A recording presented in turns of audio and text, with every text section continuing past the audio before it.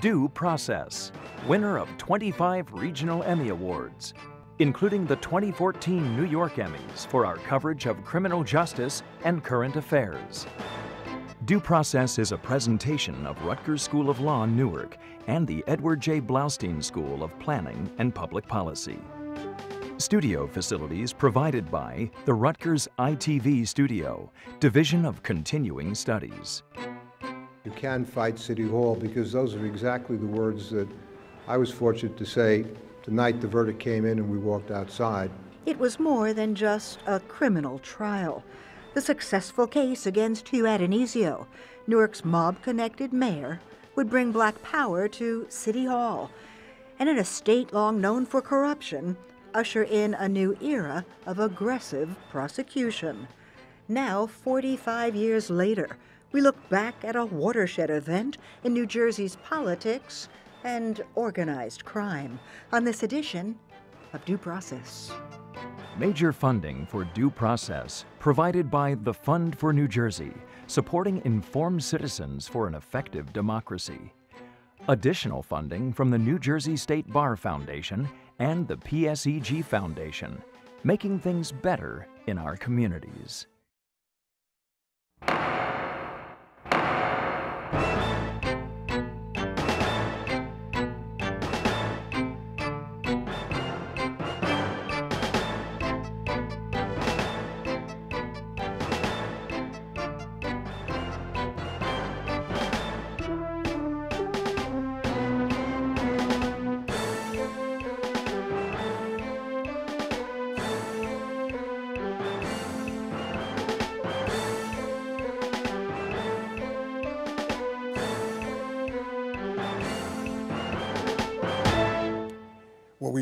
The most corrupt state in the Union? It was certainly our reputation, and some say well earned. But 45 years ago, the feds brought a case designed to change all that. A case that took on two entrenched institutions the Newark political machine and the mafia. I'm Raymond Brown. And I'm Sandra King. And on this edition of Due Process, we look back on the trial of a Newark mayor, a former member of Congress, Hugh Addonizio. The government said he put his city up for sale with organized crime as the principal buyer. We came in on September 2nd. We had all of them, all of the Newark crowd, under indictment by December 17th. The Newark crowd? Corrupt officials in league with the mob. A mayor linked to organized crime, sent from City Hall to federal prison in a city destined for change.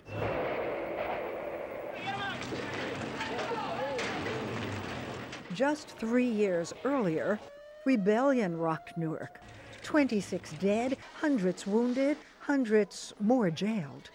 This can be classified certainly as partly a civil rights uh, demonstration, but I think it, it, it emulates from uh, uh, individuals in the community who are more concerned about themselves, perhaps, than they are concerned about doing something in, in, in relationship to civil rights. But in the aftermath, a governor's panel citing conditions that led to the riot racism, poverty, the absence of opportunity, police brutality. People were mad and they were angry. And the pervasive sense of official corruption. There was so much corruption that the police was so rampant, the racism was so prevalent. Newark was really going down the plug hole fast. Garrett Brown would later become chief judge of the federal courts in New Jersey. There was a sense that everything in the city of Newark was for sale. And it turned out that it was. But back then, he was a junior member of the team assembled by Fred Lacey, U.S. Attorney, and First Assistant Herb Stern. A team that would change the scope and the pace of the prosecution of public officials. I hesitate to think what would have happened to the state if the Addonizio case and the companion cases had not been brought and won. And what about the city of Newark? How many more elections might Huey have won? Might he even have realized his dream of being the state's first Italian governor? And how much longer would the black and brown majority of Newark have waited to take City Hall? Without the indictment and conviction of Addonizio, Ken Gibson doesn't get elected in 1970. Not in 1970, I don't think. Possibly in 1974. The charges against Addonizio and his co defendants involved kickbacks and theft, bribes, and extortion, a partnership between elected and appointed officials and capos of organized crime. A partnership that may even have prompted Addonizio's decision to leave Washington after six terms in Congress to run for mayor of Newark. Hugh Addonizio was elected with the overt active help of the mafia. Mob figures like Angelo Gyp DeCarlo and Tony Boy Boiardo. In fact, an FBI wiretap caught an Addonizio declaration that would become the linchpin of the prosecution. There's no money in being a congressman, he said, but you can make a million as mayor of Newark. The FBI was listening in on folks like DeCarlo and recorded him saying, Huey gave us the city. DeCarlo, the Newark crime boss, played in Jersey Boys by Christopher Walken. He's not going to cut my throat, are you, Frankie? no, Mr. DeCarlo.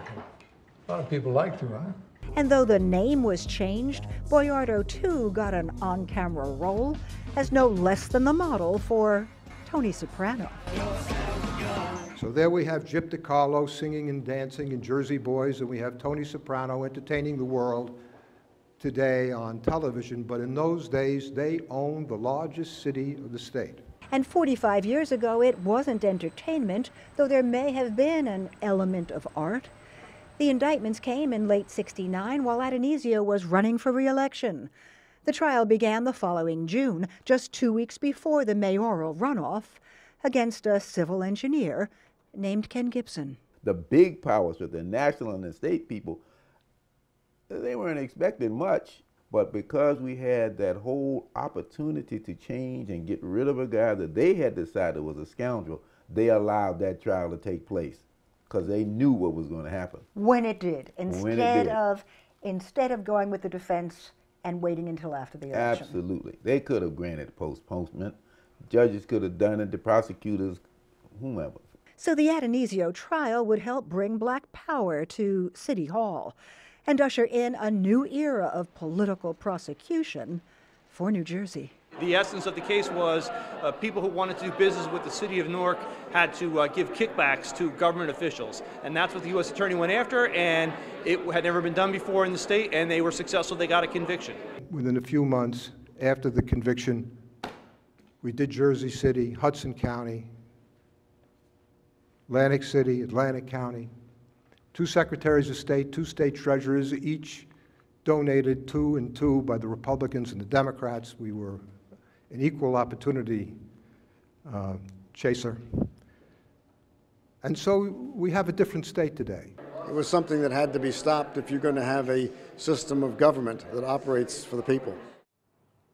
The Addonizio convictions and the ones that quickly followed didn't end political corruption in New Jersey. We've seen enough ongoing cases and convictions to know that. But it was a game changer, and our guests are here with the why and how. Retired federal judge and former U.S. Attorney Herb Stern, as you saw in the field piece, was at the heart of the Addonizio prosecution, while Joe Hayden, founder of the Association of Criminal Defense Lawyers of New Jersey, has had long experience in corruption cases, first as a Deputy Attorney General and later in his long career on the defense side. Welcome to both of you. Thank you, Ray. Um, I think we got to put our viewers in some historical perspective. Joe and I have both appeared before the judge, we was on the bench, and worked with him since, but more importantly, the judge was an adversary to both of our fathers, so he's been around a long time. And some of the things we want to talk about are historically important. And I think no better place to start than with Junius Williams' comments. Junius has been a guest here and is a friend of due process. But he talked about the fact that the trial of Addonizio was taking place as the runoff was taking place for that historical election when black political power began to emerge in Newark through the mayorship of Ken Gibson. Um, were you aware, potentially, of how cataclysmically important it was in political terms for this trial to unfold during the runoff between Addonizio and Gibson? Without a doubt, and not only were we aware of it, but we made sure that it occurred because uh, we had no guarantee that we would be able to convict these uh, fellas, and the, uh, the black population of, uh, of Newark had been under the thumb.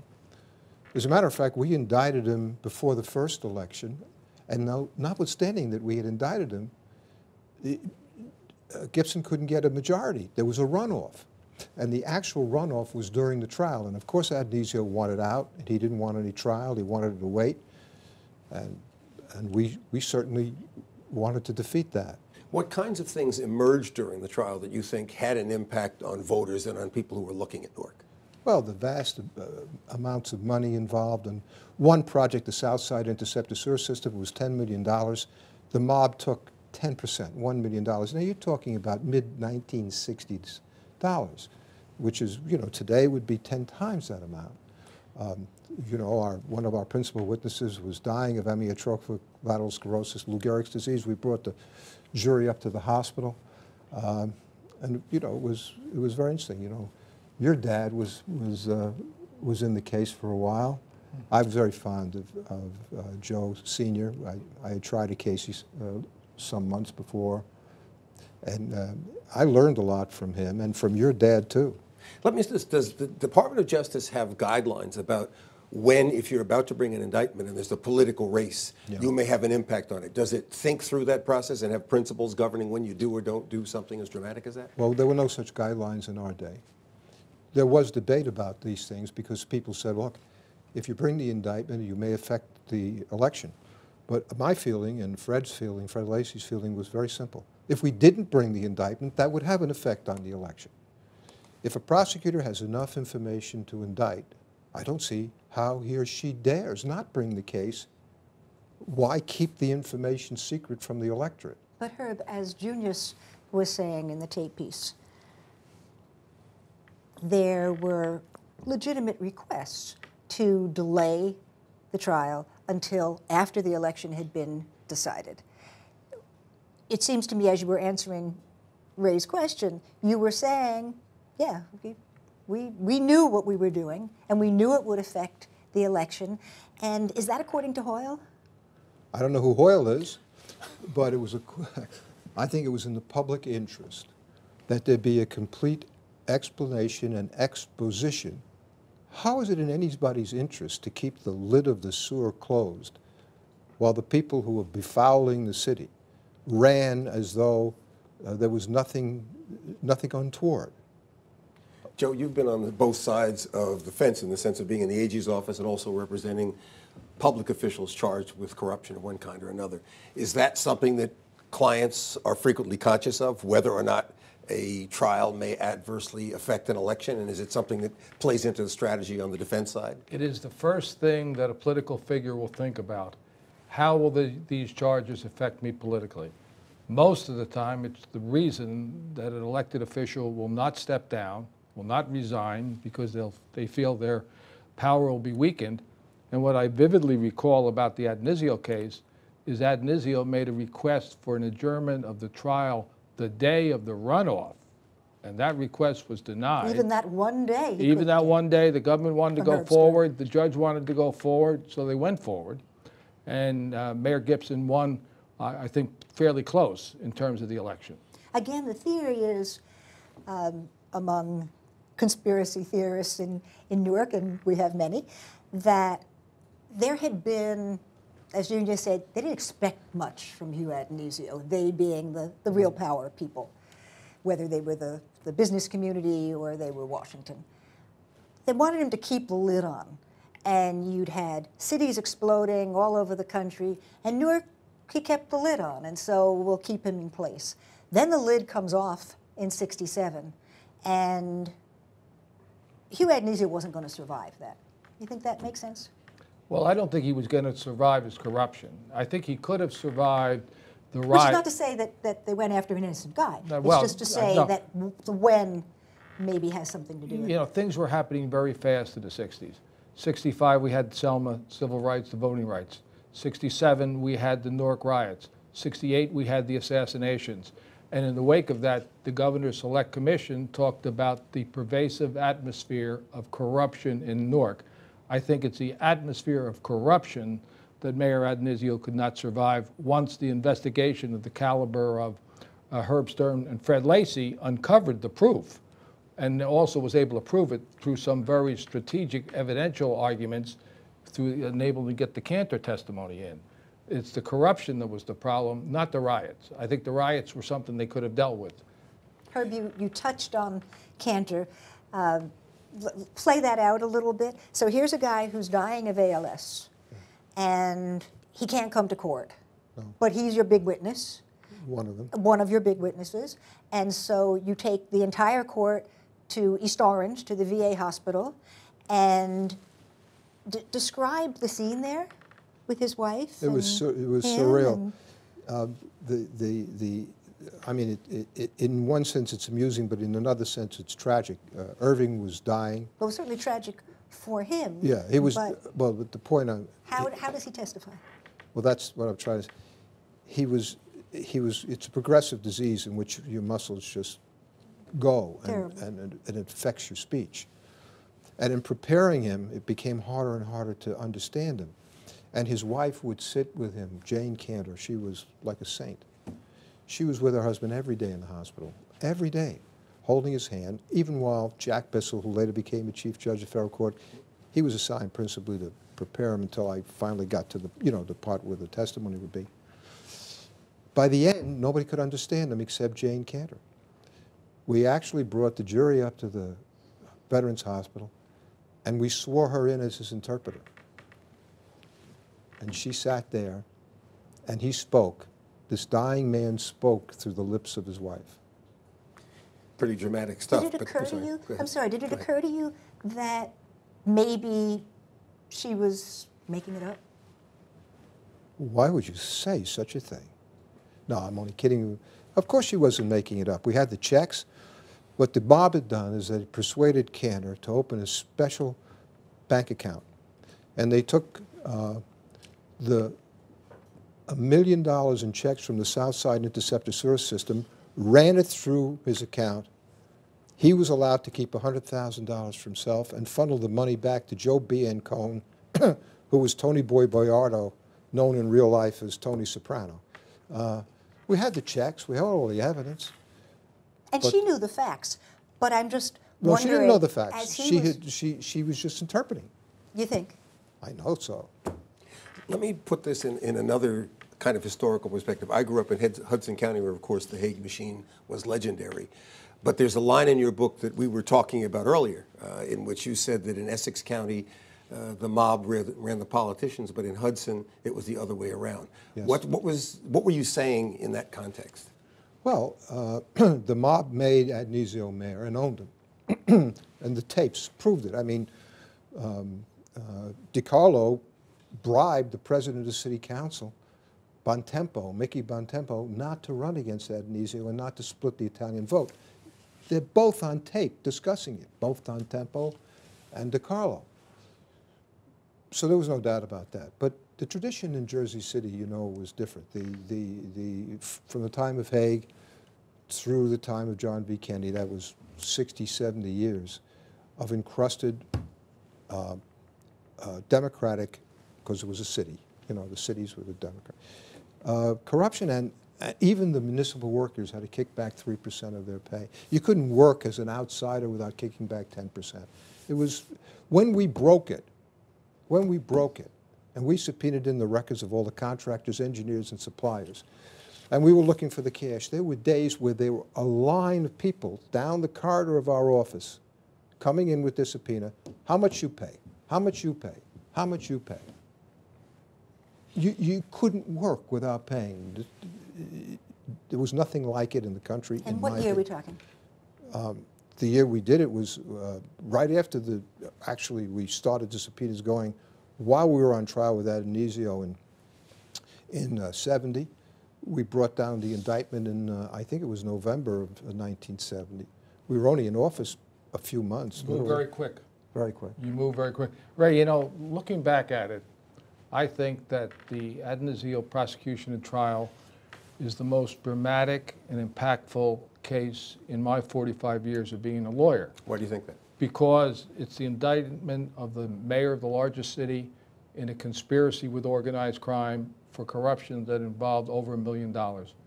But what I find so truly significant, given the benefit of hindsight, is how powerful the prosecution team was.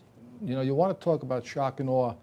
you had four of the prosecutors ended up as federal judges Fred, Herb, Jack Bissell, and, and Garrett Brown, both of whom became chief judges. One of the special state prosecutors was Don Merkelbach, who became a high ranking state judge. John Goldstein be, ultimately became the United States Attorney, and you had some other lawyers who were leaders of the bar, and you had a brilliant legal strategist like John Barry, who ultimately was be able to help frame a legal theory. When you put a team like that, and I don't know if a team like that has ever been put together, and what they did, and I was a young lawyer and, and I'm following it and began to get involved in cases, is they went and, and, and systematic political machine type corruption began to go down like dominoes. But it was because of an investigative method which involved the IRS, which involved intensive interviews, and a team of crack lawyers. But I think the model was started with the Addonizio prosecution. So without Addonizio being prosecuted, without this trial, could you have done Hudson County? Sure. So does the Addonizio, do we overstate it when we say that the Addonizio trial opened the door to this new era of prosecutions, or was it just the first? Mm-hmm. Just It- happened it- to be it the all- first. Let me, let me put it to you this way. The Addonizio case came first. If we had lost it, there would have been no others. I think you said Fred Lacey would have been driven out of. Why do you say that? Out That's of New Jersey. statement. Why do you think there would have been no others? You don't stand up and accuse the mayor of the largest city of the state of being the handmaiden of the mafia. You don't put him on trial through two mayoralty elections. You don't insist that the public understand exactly who they're voting for and what they're voting about, and then lose the case and think you're going to stay around town. Joe, were you sensitive to the historical importance of the trial as it was unfolding? No, not, not at the time. You, you were in, remember, you're in the 60s, you had Selma, you had the right, you're sensitive to the political fallout that all of a sudden in 1970 we had our first African American mayor, Mayor Gibson, was elected. Uh, ultimately, you have to have some hindsight to see how this template was taken for other investigations, for other cases throughout the state. I think what it did do was make the United States Attorney's Office the preeminent law enforcement agency in the state of New Jersey after that investigation. So then we got to put Judge Stern under oath and ask him whether he, at the time, was thinking about the impact on the democratic process, small d, of trials like this. With two minutes remaining. Yeah. Look, I was a kid. I was in my early 30s. The other people in the office, except for Fred Lacey, were even younger. We were idealistic. Uh, we believed in our country. We believed in our process. We believed it was being defiled. And so we were out to try and change it. I had little at stake because I was from out of state. Uh, so was Goldstein. Fred Lacey was one of the leading lawyers in this state. He put his whole life, his whole reputation, his whole practice on the line. As I say, if we had failed, I wouldn't be sitting here now. With 90 seconds left, I just need to ask you, need to pull it up 45 years and say, so, so what has it meant? What has it meant for New Jersey in these last 45 years? And how do, how's our corruption measured today? It's hard. Most of your viewers will have no way of assessing the accuracy of what I'm about to say. But they'll believe you. I hope they will because I'm telling the truth. Uh, today you have odd instances of corruption. You have odd instances of people betraying their oath. But in those days, as they said in Hudson County, it was a, quote, way of life. It was not only a way of life in Hudson, it was a way of life throughout the state. I first came into the state before all these cases and stumbled on a $110,000 bribe to the mayor of Woodbridge. Woodbridge, a bucolic town. This state today, it's unrecognizable for what it was. And we're going to have to leave it there with our thanks to Herb Stern and Joe Hayden. But you can find us anytime, our entire due process archive on demand on our website, dueprocesstv.rutgers.edu, or on YouTube. And we hope you'll join us again next week and every week for more important issues of law and justice. Till then, for Sandy, for producer Tanya Bentley, and all of us here at Due Process, I'm Raymond Brown. Thanks for watching.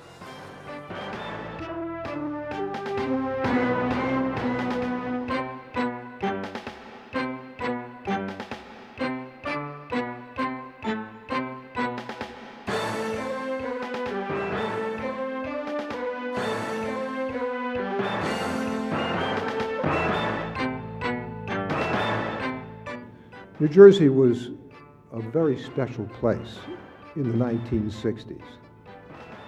Um, it had the reputation of being the most corrupt state in the United States. And it was. There's no question about it.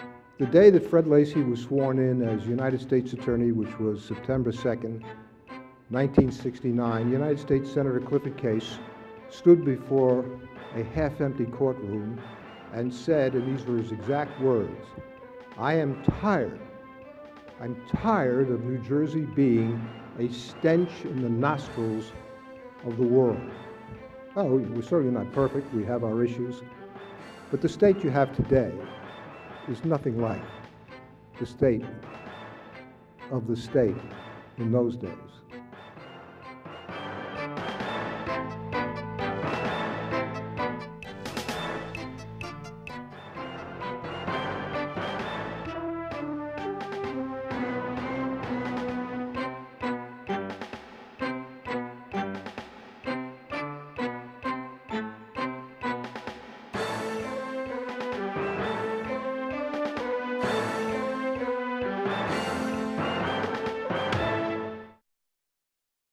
Want even more insight on law and justice? Become a fan of Due Process on Facebook. Follow us on Twitter and watch us on demand on YouTube.